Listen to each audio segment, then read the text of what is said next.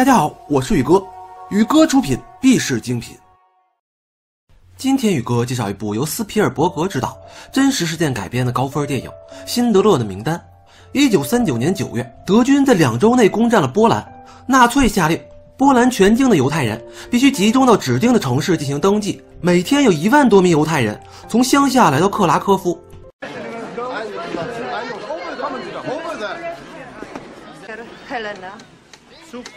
刚从家乡来到克拉科夫的德国企业家奥斯卡·辛德勒，身材高大，相貌英俊，举止风流倜傥。他出手阔绰，在各种社交场合慷慨地请德国军官们喝酒，给他们出钱买陪酒小姐，借此机会打通关系，与他们结交。看得出他很擅长这些，谁不愿与土豪做朋友呢？在克拉科夫的犹太人从中选出二十四人，组成委员会，帮助被集中到该城的犹太人解决住宿、膳食。分配劳役和排解纷争等问题。这时，辛德勒来到登记处，找到一名曾在厨具工厂当过会计、名叫斯泰恩的犹太人。辛德勒有意买下那家经营不善的厨具工厂，来生产食用器皿来供应军需，发一把战争财。于是，他雇佣了斯泰恩当他的会计师和助手来管理工厂，辛德勒则负责公司的公关与宣传。一九四一年三月二十日是迁入犹太区的最后期限，纳粹强制犹太人迁至该区，成千上万的犹太人背井离乡，搬至克拉科夫，住在仅有十六条街的方圆里，多个家庭挤在狭小破旧的房间中，委曲求全。辛德勒想买下厨具工厂，可他的钱不够，于是，在斯泰恩的引荐下，他找到犹太人的投资商，让他们投钱买工厂，作为回报，辛德勒每月会返还给他们厨具。虽然这买卖并不划算。但犹太人投资商们现在被困在犹太区，无法经商，只能以物换物。他们也只好同意了。资金筹备到位，辛德勒成功买下了工厂。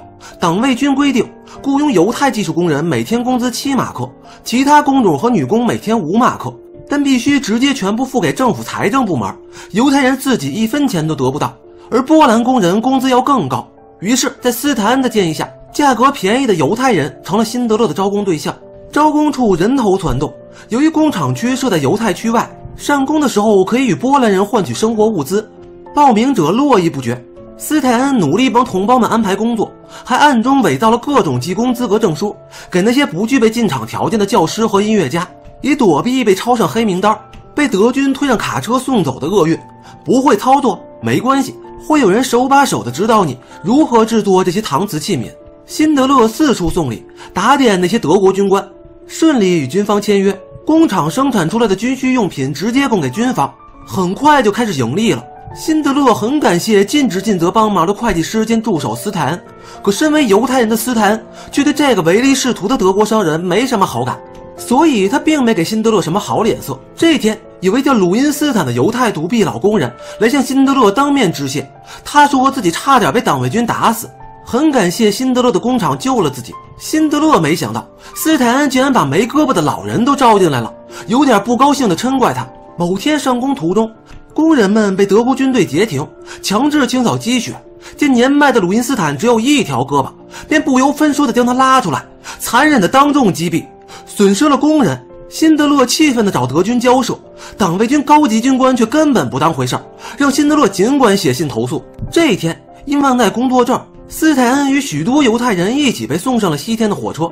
辛德勒得知后，火速赶往车站，机智地斥责德国军官。军官见辛德勒理直气壮的样子，估计他来头不小，只得命人将火车截停。辛德勒找到斯泰恩，总算把他保了下来。车站旁边的仓库中码放着堆积如山的行李、眼镜、鞋子、奢侈品、照片以及手表、首饰。看来这确实是辆开往西天的火车。这一天。党卫军司令官阿蒙来到犹太区，他将在此常住，负责处理安置犹太人。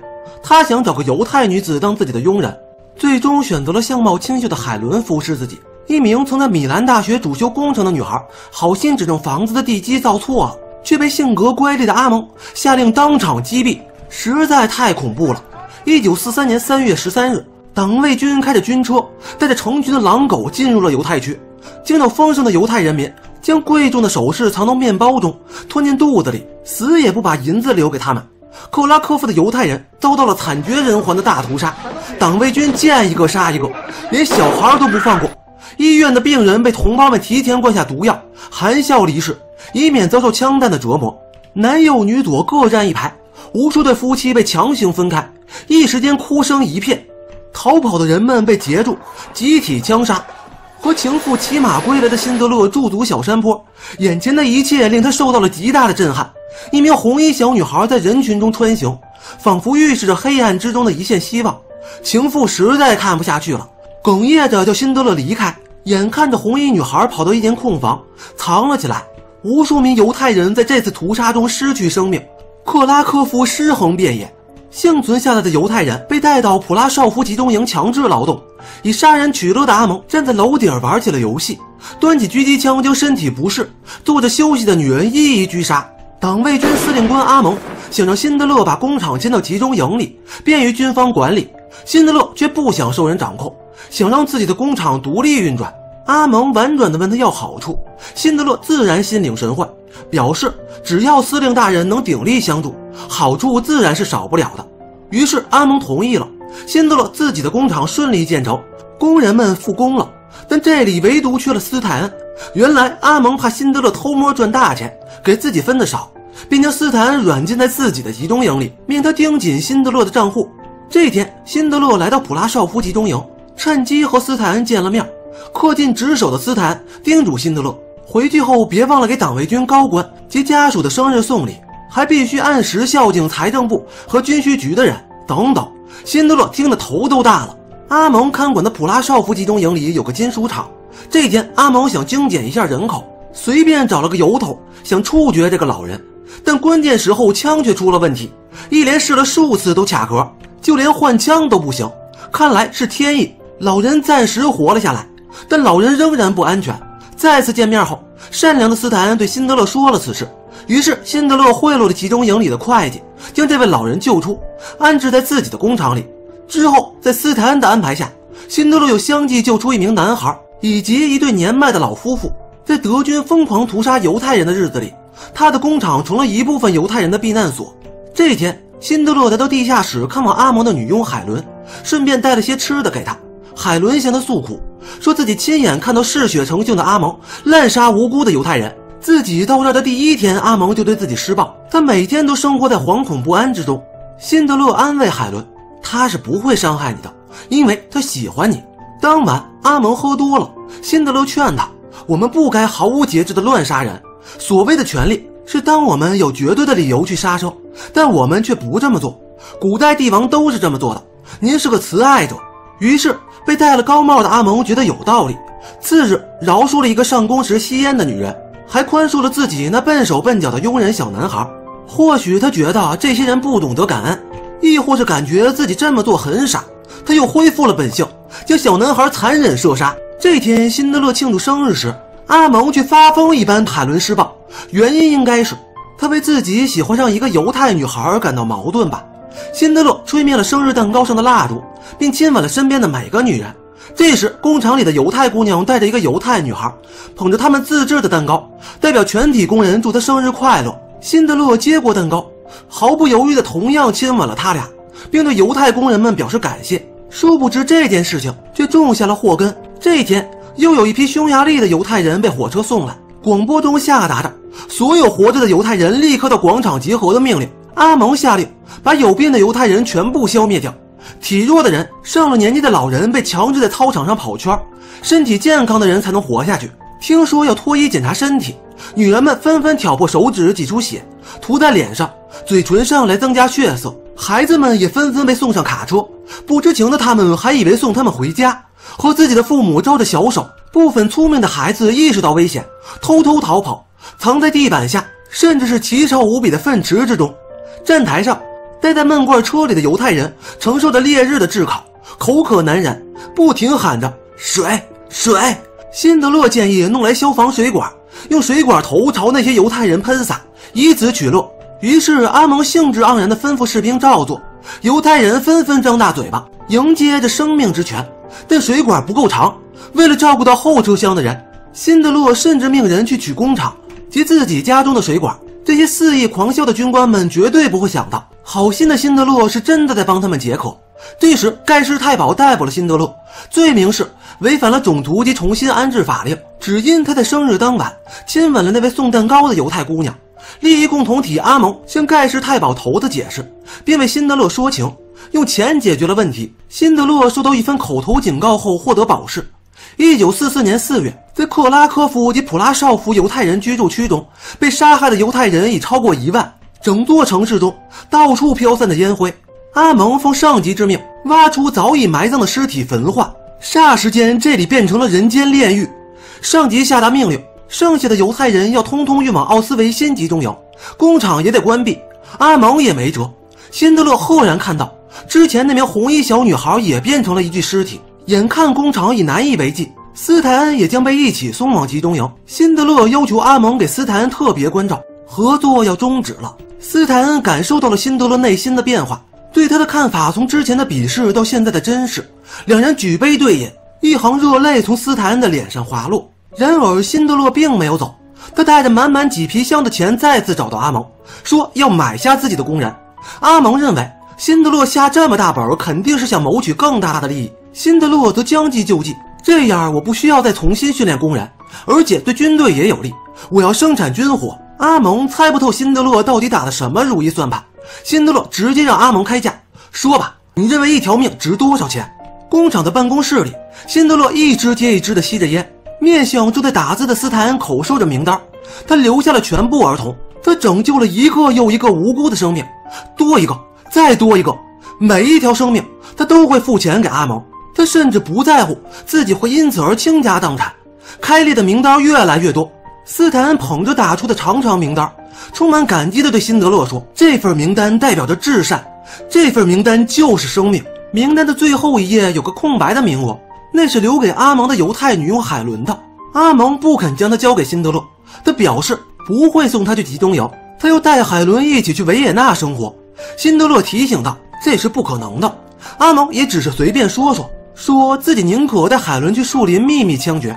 在金钱的诱惑下，安蒙妥协了，以一万四千八百马克的价格将海伦卖给了辛德勒。名单上的犹太人逐个到广场登过记后，将用火车分男女两批送往捷克的斯维塔维布林利兹军火工厂所在地。辛德勒给先期到达的犹太男人们吃定心丸，告诉他们载着妇女的列车已离开了普拉绍夫，很快也将抵达这里。然而，这辆载着妇女的列车却出了差错，居然开到了奥斯维辛集中营。下车后，这群可怜的犹太女人望着烟囱中冒出的滚滚浓烟，每个人的心都提到了嗓子眼。妇女们被强制剃掉头发，脱光衣服进行淋浴消毒。传说中可怕的毒气终于要降临到自己头上了吗？人们一片惊恐。还好，喷头开启后，喷出的的确是水。心急如焚的辛德勒赶到奥斯维辛，向集中营头子要回自己的工人。这位看起来是块硬骨头，但在钻石的诱惑下，他还是松了口，接受了贿赂的头目，想用另外三百人替换。辛德勒当然不同意了，他坚持要自己的人，头目只得同意了。妇女们终于再次登上列车，赶往布林利兹与男人们团聚。德国士兵擅自做主，想把孩子们扣下。关键时刻，辛德勒再次出手相救，忽悠他们。若没有这些小手，我怎么替点四五口径的弹壳的内侧抛光？你告诉告诉我，没啥文化的德国士兵只好放行了。经过辛德勒的不懈努力，妇女们终于赶来了。辛德勒向德军士兵严词声明，不允许他们开枪伤害自己军火工厂的犹太工人，警卫也不能进入工厂车间。当然，想要达到这个目的，辛德勒又要破费了。某天，斯坦恩向辛德勒汇报。工厂生产的炮弹质量全部不合格，这样不但赚不到钱，恐怕还会遭到军方的起诉。其实这是辛德勒故意为之，他不想成为战争的帮凶，不想让自己工厂生产出来的炮弹杀人。就这样，整整七个月，辛德勒的军火工厂没有生产出一件可用的武器弹药，而他自己却要花费数百万马克维持工人的生计，对德国政府官员行贿。辛德勒就算有座金山也顶不住这么造，他终于破产了。与此同时，传来了好消息：德国终于无条件投降了。辛德勒开心地向全场工人宣布：“明天，大家就可以开始去寻找自己的亲人了。你们当中很多人曾亲自谢我，但我觉得还是应该感谢你们自己，感谢你们大无畏的斯坦恩，还有那些在时刻面对死亡威胁时仍默默照顾彼此的人。我是一个纳粹党员，一个军火制造商，一个奴役劳工的奸商，一个罪犯。今晚十二点。”你们将获得自由，而我将会被追捕。随后，辛德勒劝阻首长的德军士兵放下武器回家，别再充当纳粹的刽子手了。士兵们垂头悄然离去。随后，辛德勒提议为纪念无数被杀害的受害者同胞默哀三分钟。牧师念着悼词，全场一片肃静。为了感谢辛德勒，工人主动拔掉自己的金牙，将其融化，打造成一个质朴的戒指。临别前，辛德勒不忘吩咐斯坦把厂里的所有布料、伏特加、香烟等剩余物资全部分给工人们。之前曾被辛德勒从阿蒙的金属工厂救出的老人献上一封信，上边有所有事情的解释，以及所有工人的签名。他能帮辛德勒脱罪。斯特恩送出刚刚打造的戒指，上面用希伯来文刻了一句犹太经文。拯救一条生命，即拯救了全世界。辛德勒激动的双手颤抖，将戒指掉到地上，与老友四手相握，哽咽着说：“我，我本可以救更多人的。”面对语无伦次的辛德勒，斯坦恩摇摇头：“这一千一百名犹太人都是因为你才保住了性命。”辛德勒仍在哭着自责：“若不是我浪费了太多钱，本可以，我本可以卖掉这辆车，再多换十条人命。这枚纯金别针。”还能救两个人，我明明可以这么做的，而我却没有这样做。不，你已经做的足够多了。换做别人，能有几个能像你这样做呢？为了安慰与感谢辛德勒，工人纷纷围过来抱住了自己的救命恩人。辛德勒走了，人们纷纷面向他去的方向，久久地尾随着，目送他至尽头。不久后，一名苏联军官骑马赶来，解放了这些坐在原地等候的一千一百名犹太工人，终于可以回家了。杀人无数，残暴的阿蒙也因其在战争中的暴行被处以绞刑。一九五八年，辛德勒获得耶路撒冷大屠杀纪念馆所颁赠的正义勋章，并获邀在正义大道上种植了一棵小树，此树至今仍在那里生长着。终于告别了黑暗时代，走向了光明。一九七四年十月九日，辛德勒去世。他被以天主教方式安葬在家乡的兹维塔齐尔山上，每年都有许多许多幸存的犹太人及其后代来到他的墓碑前祭奠，感谢他在那段黑暗的时期中做出的至善之举。《辛德勒的名单》是一部由斯皮尔伯格执导的电影，在豆瓣上有四十二万人给出了平均九点四的高分，一举拿下了一九九四年的七项奥斯卡大奖。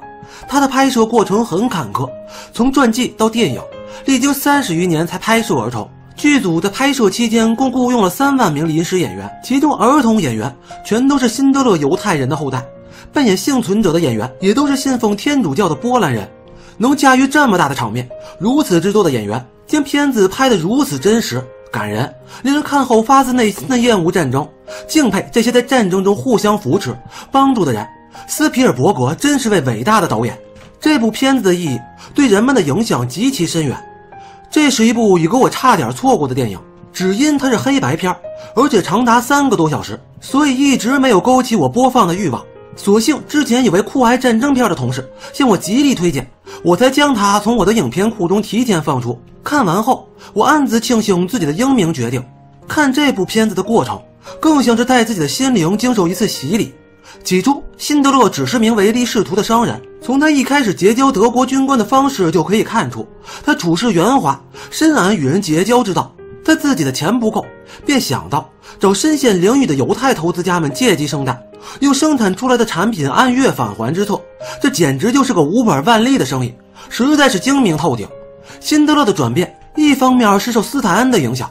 他看到斯坦恩尽自己最大的能力，在职权范围内想尽一切办法去帮助同胞中那些老人、孩子、知识分子。他不傻，起初只是故意睁一只眼闭一只眼罢了。毕竟他需要斯坦恩的帮助。但每天耳濡目染，亲身体会那些可怜的犹太人对自己的感激，看到他们遭受枪杀时的惨状，辛德勒受到了极大的触动。渐渐的，他与这些工人产生了感情。到后来。他已经拿犹太人当成亲人一样看待了，不然在生日那天，他就不会当着那么多德国军官，想都没想就去亲吻他们了。可想而知，当辛德勒看到这些犹太人以及自己工厂的工人受到迫害时，他心里有多难受。除了斯泰恩的感化，另一方面还是源于辛德勒内心中那份善。战争之中，谁不想明哲保身呢？何必去招惹那些军官、党卫军，将自己陷于危险的境地呢？好容易挣来的钱，却要全部搭进去，用来救和自己毫无血缘关系的人。试问有谁能做到？但辛德勒就是做到了。虽然宇哥觉得，如果没有斯泰恩的辅佐，辛德勒可能不会这么做。但如果换一个人，就算有斯坦的辅佐，他也不会这么做。贤臣固然重要，但真正决定自己怎么做的，还是一个人的内心。阿蒙我就不多说了，他视人命如草芥，以杀人为乐。但辛德勒的谏言，他也曾一度听进去了，总感觉他的心智极不成熟，像是一个孩子。这是一个迷失自我、被权力、金钱、鲜血蒙住双眼的人。如果他的身边能多些像辛德勒这样善良的人，也许不会这样吧。但话又说回来，如果他真像辛德勒那样善良，估计他也坐不到那个位子了。影片的最后一幕，当辛德勒没拿稳戒指掉到地上，当辛德勒说自己本可以卖掉车，别这儿再多救几个人时，宇哥情不自禁的泪奔了。影片中有交代，辛德勒在这次投资之前以及之后的投资中都失败了。究其原因，宇哥觉得他可能真的是太容易与工人产生感情了。如此善良的人，也许真的不适合经商吧。但他的人性绝对是最美的。辛德勒的善举值得每一个人的尊敬。你们的每一个小小善举，也都会激励、感染身边的人共行善举。如果有类似的情况，宇哥希望自己也可以这么做。虽然这部片子有点老，虽然它只是一部黑白片，虽然它足足有三个多小时，但宇哥还是要强烈推荐给你们，推荐给所有没看过他的朋友。我相信他一定会震撼到你们的心灵。好了，今天的故事讲完了。如果喜欢我讲的故事，希望你们能在微信里搜索我的公众号“宇哥讲电影”这五个字，偶尔帮我点点每天推送视频文章里的图片广告。宇哥拜谢。喜欢宇哥的视频，请订阅关注，获取第一时间更新。对了，还有别忘记转发哟。